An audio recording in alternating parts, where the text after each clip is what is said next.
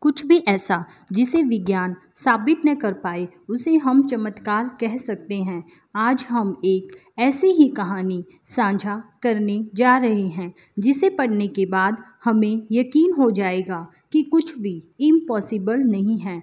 बस आवश्यकता है हमारे अंदर की उस शक्ति को पहचानने की।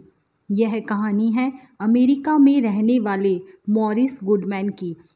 Maurice Goodman college drop out थे। उन्हें खुद भी नहीं पता था कि वे अपनी लाइफ में क्या करना चाहते हैं। उन्हें आगे का अपना जीवन जीने के लिए कोई भी दिशा नहीं मिल रही थी।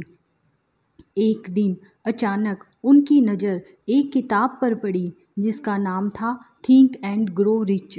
Goodman ने उत्सुकतावश वह किताब पढ़ना शुरू किया। किताब पढ़ने से उन्हें सब कॉन्शियस माइंड के बारे में पता चला। अब उन्होंने सब कॉन्शियस माइंड के बारे में पढ़ना शुरू कर दिया। और अपने सबकॉन्शियस माइंड के विस्तार पर कार्य करना शुरू किया।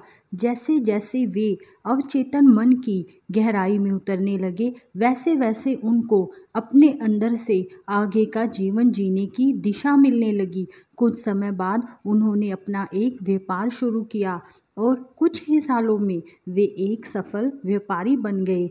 लेकिन यह कहानी यहाँ पर ख़त्म नहीं होती। जब मॉरिस गुडमैन एक सफल व्यापारी बन गए, मॉरिस गुडमैन एक दिन अपने हवाई जहाज़ पर जा रहे थे कि अचानक उनके हवाई जहाज़ का इंजन खराब हो गया और उनका हवाई जहाज़ ज़मीन पर आकर क्रैश हो गया और इतने बुरे तरीके से एक्सीडेंट हुआ कि वे सांस भी नहीं ले पा रहे थे। लोगों ने एंबुलेंस बुलाकर उन्हें हॉस्पिटल तक पहुँचाया। जब वे हॉस्पिटल में पहुँचे तो डॉक्टरों ने उनकी हालत देखी। उनकी हालत बहुत ही ख़राब थी। उनकी पूरी बॉडी लकवा ग्रसित हो चुकी थी। ना वह सही तरीके से सांस ले पा रहे थे, ना बोल सकते थे। वह सिर्फ़ अपनी पलकें झुका सकते थे। उनकी रीढ़ की हड्डी पूरे तरीके से टूट चुकी थी। वह हॉस्पिटल की मशीन के ज़रिए ही सांस ले रहे थे। वह केवल वेंटिलेटर के सारे ही ज़िंदा थे। कुछ दिन इलाज करने के बाद डॉक्टरों ने उनके परिवार से कहा कि गुडमैन कभी भी खुद से सांस नहीं ले पाएँगे। उन्हें मशीन के द्वारा ही ज़िंदा रहना पड़ेगा। वह कभी भी हिल डुल नहीं सकेंगे। उनकी बॉडी पूरे तरीके से लकवा ग्रसित हो चुकी है और उनकी रीढ़ की हड्डी पूरी तरीके से टूट चुकी है। भले ही गुडमैन बोल ना सकते हो हिलडुल ना सकते हो, लेकिन वे सुन ज़रूर सकते थे। और जब उन्होंने डॉक्टरों की यह बात सुनी तो उन्होंने मन ही मन डॉक्टर की यह बात मानने से बिल्कुल इनकार कर दिया, क्योंकि वे अपने अवचेतन मन की शक्ति के बारे में जानते थे। तब उन्होंने खुद से कहा कि डॉक्टर मेरा भविष्य डिसाइड नहीं कर सकते। वे ये डिसाइड नहीं कर सकते कि मैं क्या कर सकता हूँ और क्या नहीं। उन्होंने मन ही मन निश्चय किया कि आज से ठीक तीन महीने बाद वे खुद इस बिस्तर से उठकर इस हॉस्पिटल से बाहर जाएँगे। अब उन्होंने इस बारे में सोचना शुरू कर दिया। वह हमेशा अपने अंदर यही सकारात्मक सोच रखते थे कि वह अपने पैरों पर चलकर हॉस्पिटल से बाहर जा रहे हैं।